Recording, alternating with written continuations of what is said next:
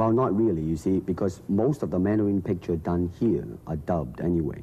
Bruce Lee's profound legacy transcends the realms of martial arts, film, and culture. Even today, decades after his death, he remains a symbol of strength, innovation, and cultural unity.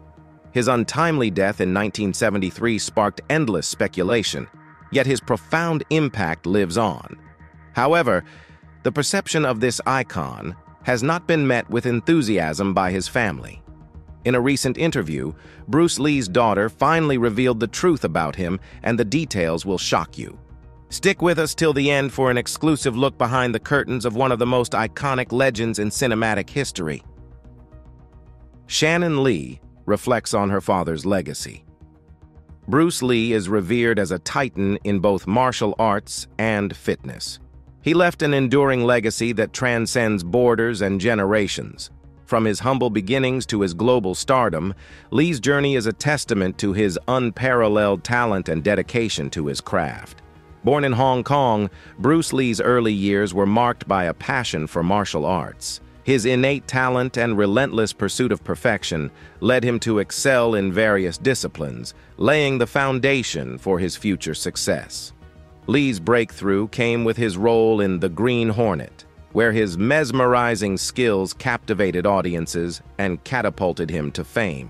His meteoric rise to stardom was tragically cut short when he passed away at the age of 32 on July 20th, 1973.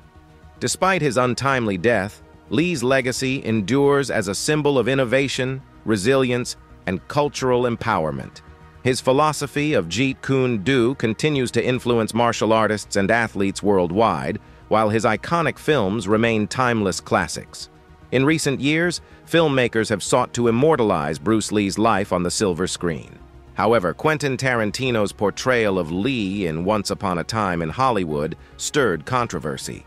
Most notably, Shannon Lee, Bruce's daughter, expressed disappointment with the misrepresentation of her father's character. In the film, Lee, played by actor Mike Moh, is portrayed as arrogant and boastful during a scene where he challenges stuntman Cliff Booth, played by Brad Pitt, to a fight on the set of The Green Hornet. Some viewers and critics found this portrayal disrespectful to Bruce Lee's legacy, arguing that it misrepresented his character. Others defended Tarantino, stating that the portrayal was meant to be satirical and fit within the context of the film's fictional narrative. However, the sensitivity surrounding the depiction of real-life figures, especially iconic ones like Bruce Lee, is never to be taken lightly. Shannon Lee retorted that while she understood the film was fictional, she felt that the portrayal of her father was disheartening because it didn't accurately represent who he was. However, she also emphasized that her father's legacy was strong enough to withstand such portrayals and she encouraged people to focus on Bruce Lee's real-life accomplishments. She passionately defends Bruce's memory, emphasizing the importance of portraying him accurately and respectfully. Despite the controversies surrounding his cinematic portrayal, Bruce Lee's impact reverberates far beyond the silver screen. His philosophy of martial arts as a way of life continues to inspire millions worldwide. Lee's legacy as a trailblazer in martial arts and fitness remains unmatched, solidifying his status as an icon of the 20th century and beyond. But Rome, or in this case, Bruce Lee, was not built in a day. Lee's story is as extraordinary as it is inspiring, and it would be unjust if we were not to look at the icon from the very beginning. Humble origins of an extraordinary legend. Born as Lee Jun Fan on November 27, 1940, in San Francisco, California, Bruce Lee opened his eyes to a world of cultural fusion, for better or worse, between the East and the West. His father, Lee Hoi Chuen, was a renowned Cantonese opera singer, while his mother, Grace Ho, hailed from Shanghai and boasted Eurasian heritage. Lee's diverse ancestry, which included Cantonese, English, Dutch Jewish, and Eurasian roots, contributed to his unique cultural background and worldview. Soon after his birth, his family returned to Hong Kong when he was just four months old. Their homecoming coincided with a tumultuous period in the city's history, as Hong Kong fell under Japanese occupation during the Second World War. These formative years exposed Lee to hardship and adversity, shaping his resilience and determination from a young age. Bruce Lee's formative years were steeped in the world of cinema thanks to his father's career as a prominent Cantonese opera star. Introduced to the silver screen at a tender age, Bruce made his debut in Golden Gate Girl, portraying a baby character. By the age of nine, Bruce had already notched several film credits, sharing the screen with his father in The Kid, a production based on the comic book persona Kid Chung. With cinematic exposure shaping his early years, Bruce's ascent in the film industry seemed almost preordained. In 1953, Bruce's acquaintance with William Cheung led him to Ip Man, a revered Wing Chun master. Initially rejected due to his mixed ancestry, Bruce's persistence and Cheung's advocacy secured him a place in Ip Man's school, under Ip Man's guidance, Bruce immersed himself in the rigorous discipline of Wing Chun, despite facing resistance from some of Ip Man's students. Undeterred by skepticism and prejudice, Bruce's dedication to Wing Chun bore fruit when he emerged victorious in the Hong Kong School Boxing Tournament of 1958. Not content with just martial arts, Bruce also had a knack for cha-cha dancing, which won him the Crown Colony Cha-Cha Championship around that period. During the late 1950s, Bruce Lee became more and more confrontational. At one point, he got embroiled in a notorious rooftop skirmish following a challenge from students of a rival Choi Lee Fut martial arts school. In an altercation provoked by an unfair blow, Bruce's retaliation resulted in significant injury to his opponent. While we won the fight, it did spark legal repercussions and prompted his mother's intervention to secure his release. Sensing the escalating tension and realizing Bruce's diminishing prospects in Hong Kong, his parents decided to send him to the United States to claim his U.S. citizenship. Arriving in San Francisco in April 1959, Bruce initially lived with his sister, Agnes Lee, before relocating to Seattle to continue his education. In Seattle, Bruce juggled his studies with employment as a live-in waiter at Ruby Chow's restaurant. Briefly joined by his brother Peter in Seattle, Bruce embarked on a journey that would shape his martial arts legacy. In 1959, Bruce commenced teaching martial arts, pioneering his own approach dubbed Jun Fan Gung Fu, an amalgamation of his Wing Chun training and personal insights. Mentoring friends and enthusiasts in Seattle, Bruce's teaching drew attention. Judo practitioner Jesse Glover became one of his first students. Taky Kimura, an associate, assumed the role of Bruce's assistant instructor, and this is how the Lee Jun Fan Gung Fu Institute was established. Completing his high school education at Edison Technical School, Bruce enrolled at the University of Washington in March 1961, where he pursued studies in dramatic arts and philosophy. In early 1964, Bruce's path veered towards Oakland, where he joined forces with James Yim Lee, a distinguished martial artist. Together, they founded the second Junfan Martial Arts Studio. Bruce's groundbreaking demonstrations at the 1964 Long Beach International Karate Championships catapulted him into the spotlight. This also introduced him to Taekwondo master Jhoon Goo Rhee. This newfound fame meant that his martial arts prowess would be witnessed not only by the spectators of such events, but by a much larger segment of American television watchers. From 1966 to 1967, Bruce Lee's breakout role as Kato in The Green Hornet catapulted him into the American spotlight, marking the first significant portrayal of Asian-style martial arts on popular American television. Collaborating with co-star Van Williams, Lee revolutionized on-screen combat. Following the show's cancellation in 1967, Lee credited producer William Dozier for kickstarting his showbiz career, expressing gratitude for the opportunity. The year also marked a pivotal turning point for Lee as he delved into the creation of Jeet Kune Do, a martial arts philosophy born out of his disillusionment with traditional styles. Lee recognized the limitations of his traditional Wing Chun training and sought a more adaptable approach to combat. Embracing a philosophy of practicality and flexibility, Lee discarded rigid conventions in favor of a dynamic system. His evolution towards Jeet Kune Do attracted the attention of Hollywood luminaries, including scriptwriter Sterling Silliphant and actor James Coburn. Together, they embarked on a collaborative venture, crafting a script for The Silent Flute. They also set for a location hunt in India. Although the project failed to materialize at the time, its legacy endured through subsequent adaptations, including the 1978 film Circle of Iron.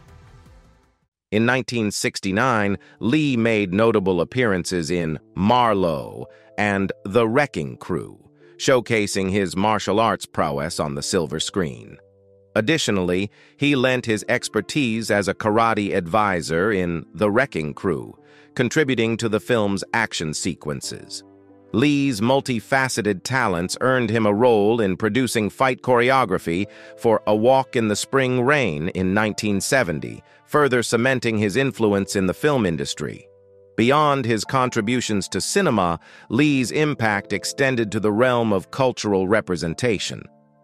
At a time when Asian actors were often relegated to stereotypical roles, Lee challenged stereotypes and helped redefine the image of Chinese people in American films. His groundbreaking work paved the way for future generations of Asian actors and filmmakers. Jackie Chan, Jet Li, Daniel Wu, Lucy Liu, and countless more wouldn't be even half as iconic as they are now if it were not for the groundwork set by Bruce Lee. Rise to stardom in Hollywood. This groundwork also paved the way for personal glory. Between 1971 and 1973, Bruce Lee's career trajectory soared as he navigated between American television and Hong Kong cinema, solidifying his status as a global martial arts icon. In 1971, Lee appeared in four episodes of Longstreet, setting the stage for his own television series concept called The Warrior. The show had a successful run on television, but only after being rebranded as Kung Fu by Warner Bros. It aired from 1972 to 1975 and starred David Carradine as Kwai Chang Caine, a Shaolin monk wandering the American Old West. Despite some initial controversy regarding the casting of a non-Asian actor in the lead role, the series gained popularity and became a cultural phenomenon during its run. Following the advice of producer Fred Weintraub, Lee returned to Hong Kong to pursue a feature film career. His decision proved fortuitous, as he quickly rose to prominence with Golden Harvest, starring in box office hits such as The Big Boss and Fist of Fury. Lee's meteoric rise continued with The Way of the Dragon, where he showcased his multifaceted talents as a writer, director, and choreographer, culminating in an unforgettable showdown with Chuck Norris. Lee's global impact soared even higher with the release of Enter the Dragon in 1973, a joint production between Concord, Golden Harvest, and Warner Bros. The film's monumental success solidified Lee's legacy. It also grossed over $400 million worldwide and propelled him to martial arts superstardom. Tragically, Lee's life was cut short just six days before the film's release, Though he never witnessed the release, Enter the Dragon not only cemented Lee's status as a martial arts legend, but also ignited a cultural phenomenon, sparking widespread interest in martial arts depicted in popular media and a surge in martial arts-themed television shows. Following Bruce Lee's untimely demise, those who knew him made serious efforts to honor his legacy and complete his unfinished projects. Director Robert Clouse, in collaboration with Golden Harvest, revived Lee's incomplete film, Game of Death. Lee had filmed extensive footage for the project before halting production to focus on Enter the Dragon. Despite Lee's absence, Clouse pieced together a finished film using a look-alike and archival footage released in 1978. However, only a fraction of the footage featured Lee himself, with much of it relying on a stand-in and stunt doubles. Many other film projects were also in the pipeline at the time of Lee's passing. Plans for a third film, Yellow-Faced Tiger, were in motion after the success of The Big Boss and Fist of Fury. Lee had also explored collaborations with competing studios for projects like The Seven Sons of the Jade Dragon. However, these ventures never materialized due to his sudden demise. Decades later, in 2015, Perfect Storm Entertainment and Lee's daughter, Shannon Lee, announced the production of The Warrior, a series based on Lee's original concept. Directed by filmmaker Justin Lin, the series premiered on Cinemax on April 5, 2019. It received positive reception from both audiences and critics for its action-packed scenes, compelling storytelling, and respectful homage to Bruce Lee's legacy. The series showcased a diverse cast and explored themes of identity, culture, and justice against the backdrop of 19th century San Francisco. While plans for a second season were announced in 2019, the series faced challenges related to production delays and uncertainties exacerbated by the COVID-19 pandemic. Despite all the hurdles, the production team pulled through and the second season premiered on October 2, 2020. In April 2021, The Warrior received another renewal for a third season. However, the series transitioned from Cinemax to HBO Max to expand the show's reach and audience. The third season premiered on June 29, 2023. However, despite its continued popularity and critical acclaim, the show was canceled after three seasons. Additionally, producer Jason Kothari has acquired the rights to The Silent Flute, intending to adapt it into a mini-series with screenwriter John Fusco. Pursuit of Excellence Even as a person, Bruce Lee was no less impressive than the guy that millions admired for his on-screen performance. His martial arts journey was characterized by a diverse range of influences and a relentless pursuit of physical and mental excellence. He trained extensively in various martial arts styles including Wing Chun, boxing, and grappling, integrating techniques from each discipline into his own unique fighting system. His experience in Hong Kong's street fighting culture exposed him to a variety of martial arts styles, leading him to develop his hybrid fighting system. Lee even engaged in rooftop fights and accepted street challenges, earning a reputation as the fastest fist in the East. His physical conditioning was also legendary. Lee emphasized total fitness, encompassing strength, endurance, cardiovascular health, and flexibility. He maintained a disciplined diet, focusing on healthy foods, high-protein drinks, and supplements to optimize his performance. And his workout routine was simply out of this world. He adhered to a disciplined regimen, dedicating hours each day to honing his skills and improving his body.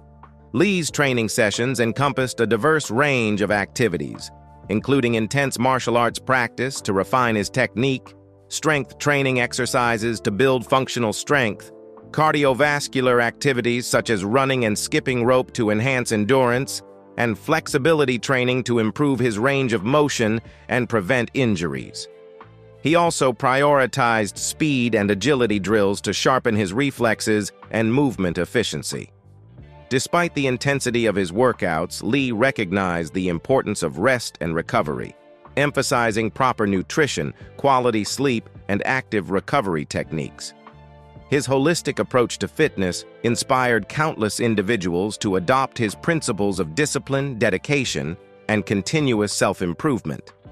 Beyond martial arts, Lee also studied drama and philosophy, incorporating elements of Taoism, Buddhism, and Jiddu Krishnamurti's teachings into his philosophy.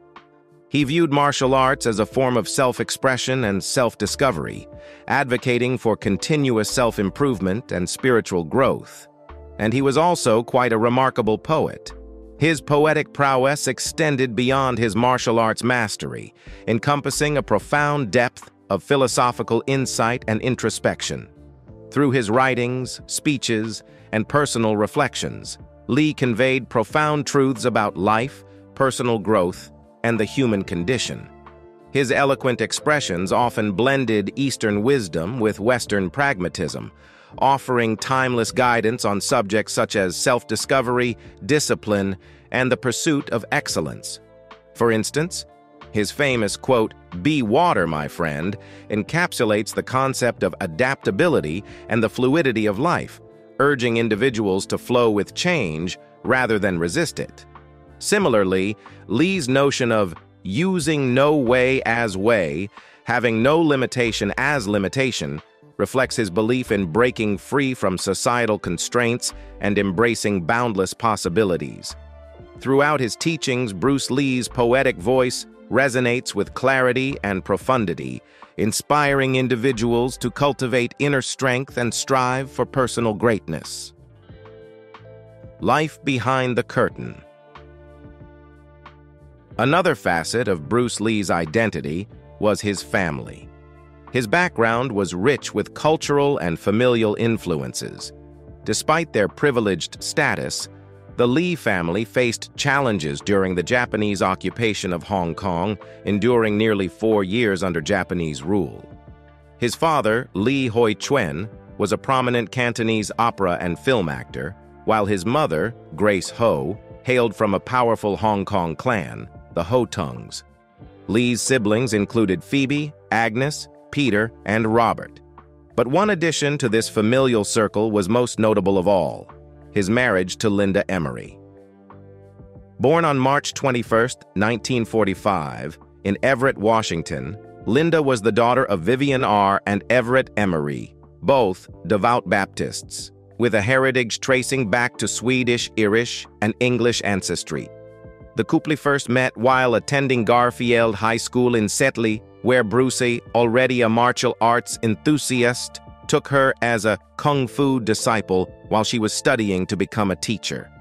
Their relationship blossomed, and they tied the knot on August 17, 1964, in a private ceremony while she was just a few credits shy of graduation. Facing societal challenges due to interracial marriage laws at the time, they exchanged vows in secret. Their marriage was filled with mutual support, with Linda standing by Bruce as he pursued his passion for martial arts and acting. The union resulted in the birth of two children, Brandon and Shannon Lee. However, tragedy struck on July 20, 1973, when Bruce Lee unexpectedly passed away due to an allergic reaction to medication. In 1988, Linda entered a marriage with Tom Bleecker, which ended in divorce two years later. She found love again when she wed stockbroker Bruce Cadwell in 1991 and settled in Rancho Mirage, California. Yet the family faced another devastating loss on March 31, 1993, when Linda's son Brandon Lee tragically lost his life in a prop gun accident on the set of The Crow on March 31, 1993. This was the greatest loss for the Lee family following Bruce's death almost two decades prior, and it left Linda and Shannon under a great amount of duress. Despite enduring profound sorrow, Linda remained steadfast in her commitment to preserving Bruce Lee's martial arts legacy, particularly his philosophy of Jeet Kune Do. She retired in 2001, passing the torch to her daughter, Shannon. Linda Emery Lee Cadwell is also an accomplished author. Her 1975 biography, Bruce Lee, The Man Only I Knew, provided an intimate portrayal of her life with Bruce Lee and served as the foundation for the 1993 film Dragon the Bruce Lee Story, where she was portrayed by actress Lauren Holly. Additionally, Linda authored The Bruce Lee Story in 1989. Her daughter Shannon Lee studied Jeet Kune Do under her father's student Richard Bustillo, and later trained with Ted Wong to prepare for roles in action movies. She has been actively involved in promoting Bruce Lee's legacy, particularly his martial art philosophy of Jeet Kune Do. She has appeared in films and television series and has also ventured into producing, writing, and public speaking.